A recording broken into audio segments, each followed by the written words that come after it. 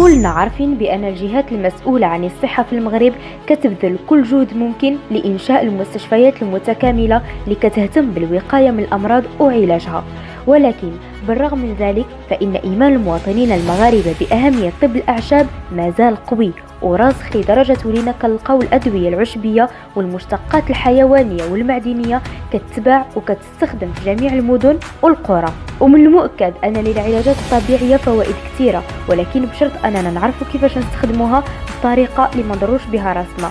ولتحقيق هذه الغاية صحة بوهيمة كتطلع لكم سلسلة جديدة حول الأعشاب الطبية والنباتات اللي كيتوفر عليها المغرب وطريقة الاستخدام ديالها مع الدكتور عبد العزيز الشرقاوي إحيائي وباحث في مجال الأعشاب الطبية والعطرية اللي غادي يعرفنا بداية على الطب البديل الجذور ديالو والأهمية اللي ولا مكتسبها خاصة بعد جائحة فيروس كورونا. نستمعوا جميع خلال عشرات السنين الأخيرة اتجه العالم إلى ما هو طبيعي وأصبح يبتعد قدر الإمكان عن المواد الكيميائية المصنعة والمركبة في المختبرات.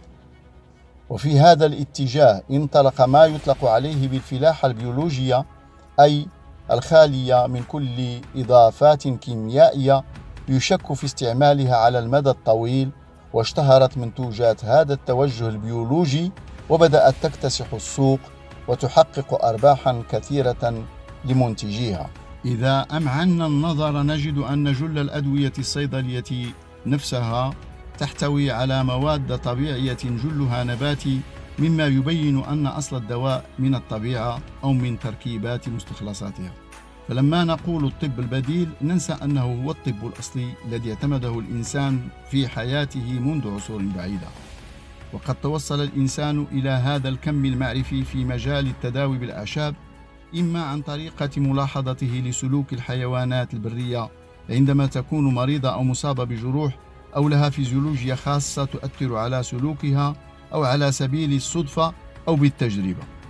وكانت هذه المعرفة تمر بالممارسة اليومية العائلية والجماعية من جيل لآخر حتى جاءت الطرق الحديثة التي بينت أن هذه الأدوية التي تحتوي على مواد طبيعية لها خاصيات أي أنها تتمتع بمدة صلاحية يصيبها عند انتهائها التلف بحيث يمكن أن تصبح سامة أو لا مفعول لها. ورغم أن مدة صلاحية الأدوية تكون مذكورة في العلب والقارورات فإن الظروف المحيطة بها يمكن أن تفسد هذا الدواء قبل أوانه من حرارة ورطوبة. وقد علم الجميع أن تلقيح كورونا المستجد. لما تم صنعه استوجب حرارة معينة تتراوح ما بين 8 درجات مئوية إلى ناقص 80 درجة. وهذا يدل على أن المواد البيولوجية متقلبة والاحتفاظ عليها من الحرارة المفرطة والرطوبة واجب.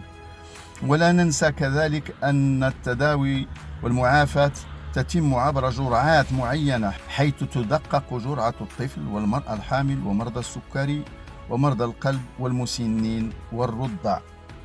ولا ننسى في هذا المجال أن الصيدلة اكتشفت مواد حاملة للمادة الفعالة حيث كان الطب الأول يعتمد على الماء والخل والعسل كحامل للمواد الفعالة. بعدما أدرجنا هذه الخاصيات للدواء إن هذه الأعشاب الطبية والعطرية التي نريد الاستفادة منها والاستشفاء بها تستوجب حذرا أكبر حيث أن الأدوية تحمل عادة مادة أو مادتين فعاليتين زائد المادة الحاملة لكسيبيون أما المواد النباتية الطبيعية أو المزروعة فهي تحمل عشرات المواد لكل منها دوره. وعلى هذا المنوال وجب علينا أن نعطي أهمية لطرق الاحتفاظ بالأعشاب وكذا الجرع وطرق الاستخلاص وجميع ما يتعلق بسلامة استعمالها.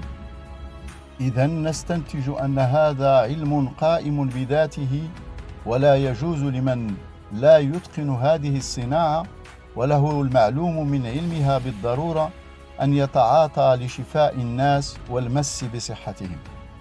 وحتى نكون عند حسن ظن المستمع لهذه السلسلة أي سلسلة الأعشاب الطبية والعطرية سنتناول في المستقبل النباتات المشهورة عندنا في المغرب منفردة ونذكر الخاصيات التي تميزها عن بعضها والأضرار الجانبية التي من الممكن أن تلحقها بالمستهلك عند عدم مراعاته لظروف استعمالها.